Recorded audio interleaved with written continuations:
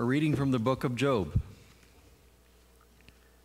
Then Job answered the Lord I know that you can do all things, and that no purpose of yours can be thwarted. Who is this that hides counsel without knowledge?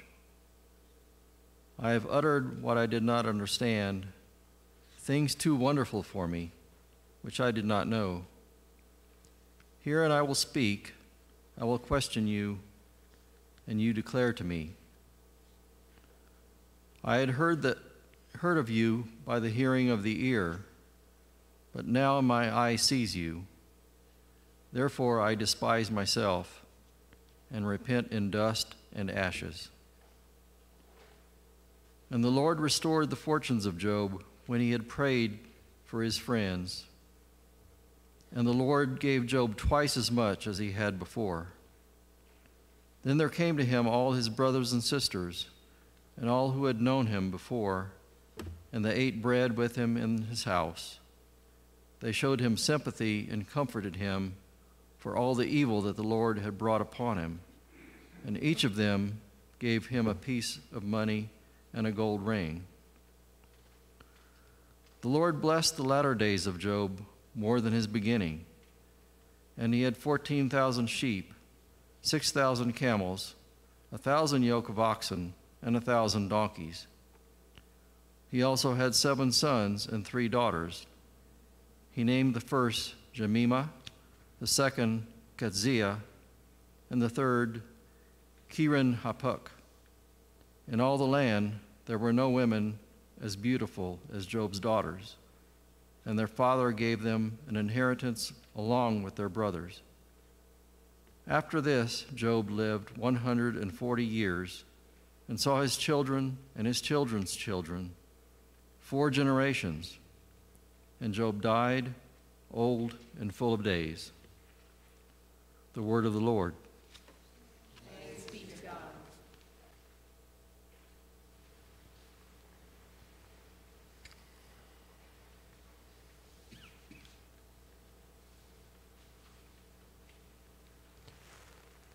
We'll read our psalm in unison.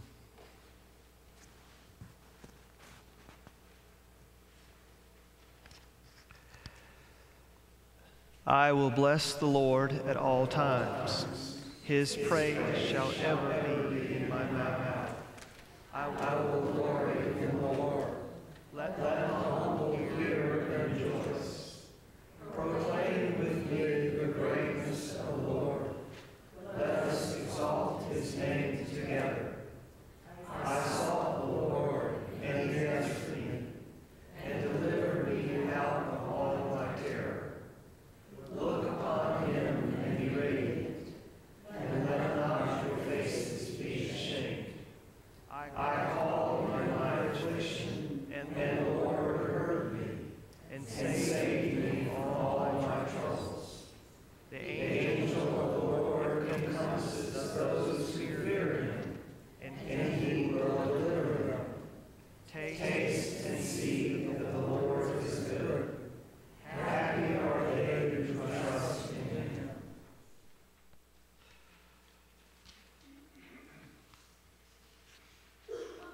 A reading from the letter to the Hebrews. The former priests were many in number because they were prevented by death from continuing in office. But he holds his priesthood permanently because he continues forever. Consequently, he is able for all time to save those who approach God through him, since he always lives to make intercession for them. For it was fitting that we should have such a high priest, holy, blameless, undefiled, separated from sinners, and exalted above the heavens. Unlike the other high priests, he has no need to offer sacrifices day after day, first for his own sins, and then for those of the people. This he did once for all when he offered himself. For the law appoints as high priests those who are subject to weakness. But the word of the oath, which came later than the law, appoints a son who has been made perfect forever. The word of the Lord.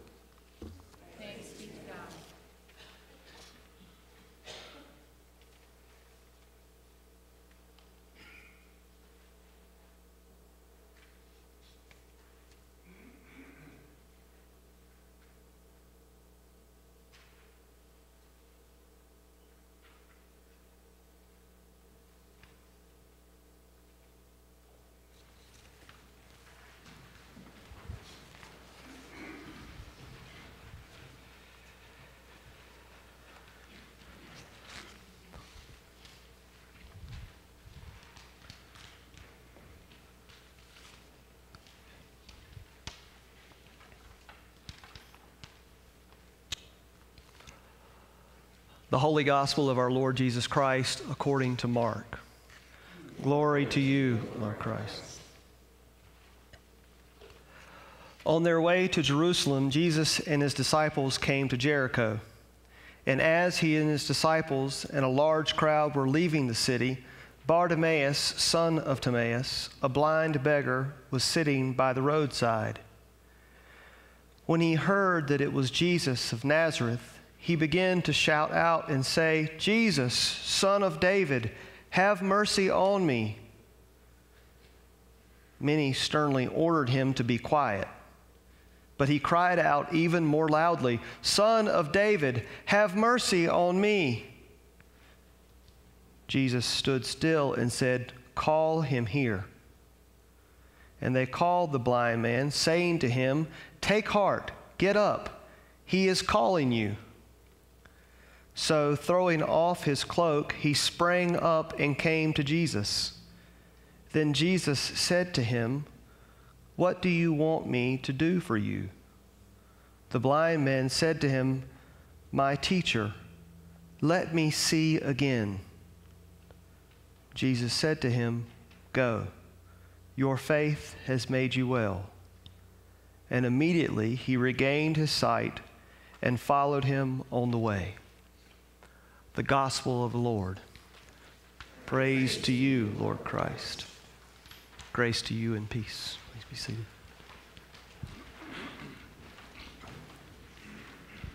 Good morning. The miracle of sight. I saw it this week, and you can see it too. There is a video online um, called Piper Gets Piper can see. Piper is an 11 month year old little girl, and she has an eye disease which prevents her from seeing very clearly. She sees shapes and all, but that's about it. And so she's sitting, she's 11 months old, and sitting in a high chair in this restaurant with her mother and her father, and they've just gotten her glasses, and they start to put them on her head, and she's shaking because she just, this is, what is this? And all of a sudden they get them on her little eyes, and she goes, and she sees her mama and hears her voice and associates a face with a voice for the first time. And she smiles, and her dad says, Piper, Piper. And she looks at her father and she sees his face and hears his voice together for the first time, and she smiles. There's such joy in really seeing, isn't there? I invite you to go see that. You can see it on YouTube. You can Google Piper Gets Her Glasses. You can go to Facebook, anywhere you want to go, and witness Piper seeing for the first time. I um, want to wrap up Job right, right quick. Uh, uh, first of all, uh, let's just be clear about what happens here at the end. Um, uh, God restores Job. Um, I, I, tell you that first because God restores Job um, because God is just, and that's what God does. Restoration is who God is. So God restores Job, but not without some exchange first. As you heard, remember last week, God speaks out of the whirlwind to Job and says, Who in the world are you to be talking to me about the mysteries of life? And then Job today is a little more humble than he has been in, in, in his in his arguments with God, and he says, Oh, you know, as you mention it, I believe you have a point. Um, I can't see everything, I don't know everything. Things are too wonderfully hidden. It's a wonderful little Hebrew word, too wonderfully hidden for me to see. And there's a wonderful little line in there um, in, in, in, the Hebrew Bible that we translate, and uh, Job, Job, despised himself and was comforted um, concerning dust and, and ashes. Um, that's a hor- horrible translation. Um, it, in fact, nobody knows what a good translation is, but that's not a good one. Um, it, it, it, it, in, in Hebrew, it looks more like, and Job stepped back and was comforting concerning dust and, and ashes. In other words, Joseph up in, mm, Joseph, Job up until this point has had sort of a myopic, nearsighted view of the world. Everything and life itself, everything was about him and how he was. And that's all he can see. And now that God has reminded him of the wonderfully hidden from him, he is able to step back and to see things in a broader view and to be comforted, comforted concerning dust and ashes. A wonderful metaphor for who knows what. Perhaps it's the human condition. Perhaps it's the mystery of life. Perhaps it's the fact that you and I uh, will return to dust one day, dust and ashes, something that we hear at every funeral service and just about every denomination there is. Job finally is able to step back, take a broader view of things, and be at peace with God. He sees, finally, for the first time, that life is bigger than he is. The world is bigger than he is. It's not about him. There are uh, three wonderful stories in the Gospels about blindness. Three. There are more than that, but there's three I want to focus on this morning because um, those three come from uh, the first one from John's Gospel and the other two from Mark's Gospel, and Matthew and Luke just stole from the two of them. So, anyway, we won't go into them. Um, in John's gospel, there's a story of the man who was born blind, and he is healed by Jesus, which is no surprise because you know the miracle's coming. What's surprising is nobody believes him. I was healed by this man named Jesus. No, you weren't. We don't, we don't believe you. I was healed by Jesus. I told you I was healed. No, we, we don't believe you. The point is, is that we have a difficult time. We believe it impossible that we can see that anyone can see clearly, that anyone could step back, take a broader view, and appreciate the wonderful hiddenness of all that is. We don't believe it can happen. It's pointing the gospel story, perhaps. Other story, the first story of blindness in Mark is the healing of the blind man from Bethsaida. Now, you won't ever hear this story in church because it never comes up in our Sunday lectionary. In fact, if you, when you read your daily lectionary yesterday, as I'm sure you all do every day, you would have gotten this story. You would have heard the story of, of the blind man from Bethsaida, which you all know now because you read it yesterday. Right, right. The blind man from Bethsaida is the one, you know the story though, anyway, even though we don't do it on Sundays, um, is the man who Jesus spit on his finger and rubbed his eyes. And he asked, Jesus asked the man if he can see. Can you see? I see people, but they look like trees. And then Jesus lays his hands on him again, and he can see clearly. It's the only miracle where Jesus has to do over. You know what I mean? None, nonetheless, the point is, is that the, the bringing on of sight, the miracle of sight, does not always happen in an instance. Perhaps, perhaps we need a little training in it. Perhaps we need a couple of miracle do overs in order for us to see clearly. The third story is the one we hear this morning. Now, the funny thing about these two stories in Mark, the blind man from Bethsaida and, and healing blind Bartimaeus, the blind beggar, there's no accident that blind and beggar put together. The point is, is no, we can't all see, and yes, we are all beggars. Blind beggars, we are all. In blind, the, blind, the blind Bartimaeus and uh, blind man from Bethsaida and blind Bartimaeus actually book in all of Mark that we've been hearing for the last eight weeks. The story of discipleship begins with blindness. The story of discipleship in Mark ends with the miracle of sight ending blindness. Now, the connection that we need to make here, and one that connects the John story to the first blind Mark story, is that Jesus, Jesus, John is all but saying, we don't believe that we can see. And he picks that up, Mark's gospel picks that up and says, Jesus has is said says in this gospel, um, it's because of your hardness of heart that you can't see. In other words, you don't believe it either. Do you not have eyes with which to see? Go, go to Mark, go to chapter 8 and read it so you won't think I'm lying about it. It's because of your hardness of heart. Our hardness of heart that we cannot see. There is a wonderful, wonderful line in, Jew, in Jewish rabbinic tradition that says this All are assumed to be blind until God opens our eyes. All are assumed to be blind until God opens our eyes, which Jesus does again, yet again. Opens blind Bartimaeus' eyes, but the thing is, he never touches him. Interesting, is it not? Never lays a hand on him. All he says to him is what? You know it. Go. Your faith has made you well. Don't ever forget those words. Your faith has made you well. Um, I mentioned last week, uh, and, I, I, want to continue to mention that we are, um, we are working on in, in this congregation uh, core patterns of faith um, which is why I asked you um, uh, four weeks ago now to begin reading the letter to, to, to the Hebrews. And, and I, I, have been, um, I have been quite comforted by the fact that many of you are having difficulty with this and are expressing your difficulties to me. At least I know you're reading it.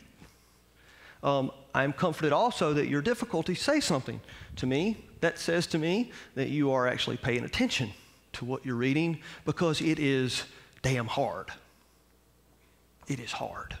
All of it. The whole book, letter to the Hebrews, is difficult to understand. It takes practice and commitment and prayer and trust to see where God is going with us. We are practicing the core patterns of faith in reading Scripture. We are beginning, as I said last week, to come up on a time of the year when we consider and pray about ourselves, our community as stewards. In just a couple of weeks, a couple of weeks from today, actually, we will commission our callers to make calls to a, a fellow steward will call you and, you, and will say, um, please, open your eyes, my words, not theirs, they may not say this, and take a look, step back, take a look and see the possibilities, not just for yourself as a Christian steward, but for all of us as a community. And that same question is carried further. We're not just, it's not just about us and our community, is also, perhaps more so, about who we are in the world and how we engage the suffering and the needs of the world core patterns of faith do not allow us to one, not read Scripture, two, not be generous, and three, not engage in the world. This is our work to practice these things, even if it happens incrementally. It's a wonderful line in a book um, from that's just just been released. Uh, it was written by Andy Doyle. Andy Doyle is Bishop of Texas, the Diocese of Texas. Um, he says the problem with blindness is this the problem is the more we don't look, the more we don't practice looking, the harder and harder it becomes to see the kingdom at hand and to see God's work in the world. The more we don't look, the harder it becomes to see.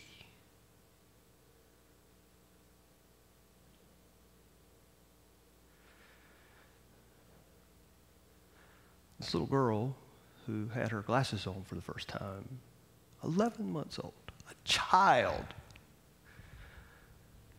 can show you the miracle of sight. We are, each of us, on our way to that miracle. God is restoring, healing us. Open your eyes and see. And when you see, you will hear words. I, I don't want to. Put religious experience on any of you, but I, you will hear words in one form or fashion. You will hear these words. When you see, you will hear. Go. Your faith has made you well. Amen.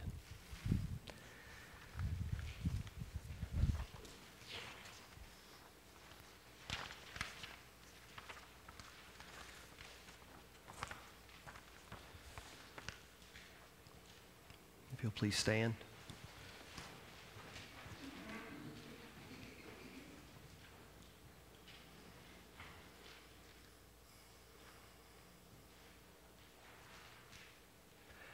We believe in one God, the Father, the Almighty, maker of heaven and earth, of all that is seen and unseen. We believe in one Lord, Jesus Christ, the only Son of God, eternally begotten of the Father, God from God, light from light, true God from true God, begotten, not made, of one being with the Father through him all things were made. For us and for our salvation, he came down from heaven. By the power of the Holy Spirit, he became incarnate from the Virgin Mary and was made man. For our sake, he was crucified under Pontius Pilate. He suffered death and was buried. On the third day, he rose again in accordance with the Scriptures. He ascended into heaven and is seated at the right hand of the Father. He will come again in glory to judge the living and the dead, and his kingdom will have no end. We believe in the Holy Spirit, the Lord, the giver of life, who proceeds from the Father and the Son. With the Father and the Son, he is worshiped and glorified. He has spoken through the prophets. We believe in one holy Catholic and Apostolic Church. We acknowledge one baptism for the forgiveness of sins. We look for the resurrection of the dead and the life of the world to come. Amen. With all our heart and all our mind, let us pray to the Lord, saying, Lord, have mercy.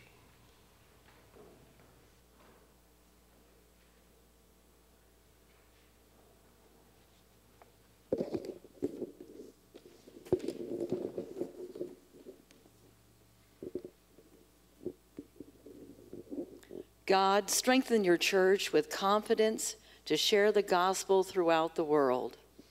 Lord, have mercy. Hear the cries of the needy and lift up the downtrodden and lowly. Lord, have mercy. Bless and sustain the works of your hands and restore your creation. Lord, have mercy. Lead and guide our nation and its leaders in justice and truth. Lord, have mercy. Be present with the suffering in their waking and their sleeping. Lord, have mercy. Give to the dying the hope of salvation. Lord, have mercy. Let us pray for our own needs and those of others.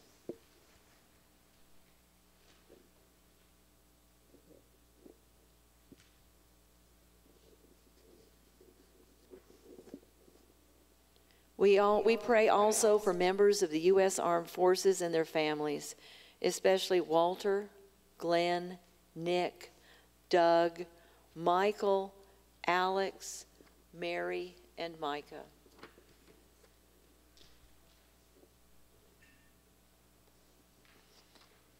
In peace, we pray to you, Lord God, remembering today the Anglican Church of Japan and their bishop.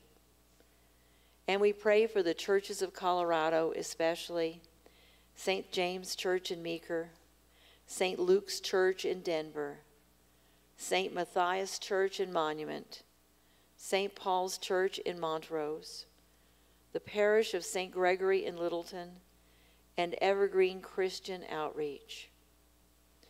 Please join me in affirming our vision statement. The mission of St. Paul's Episcopal Church is to live out the love of God as seen in Jesus Christ. We will, with God's help, discover God's presence in word and sacrament, share God's word, nurture God's people, encourage congregational and personal growth on our shared journey, and act justly and peaceably. O God, the strength of the weak and the comfort of all sufferers, mercifully accept our prayers and grant that we, your servants, grant us, your servants, the help of your power, that our blindness may be turned to sight, our sickness turned to health, and our sorrow turned to joy.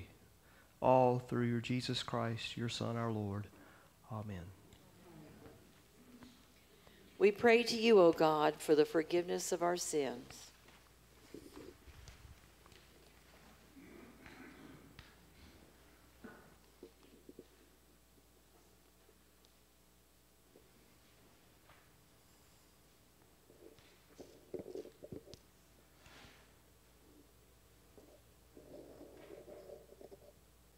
Have mercy upon us, most merciful Father.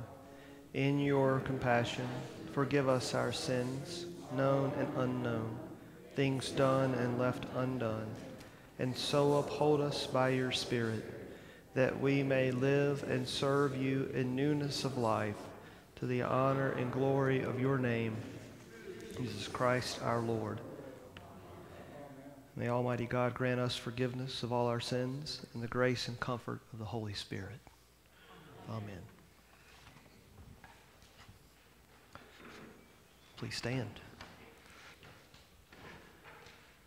The peace of the Lord be always with you.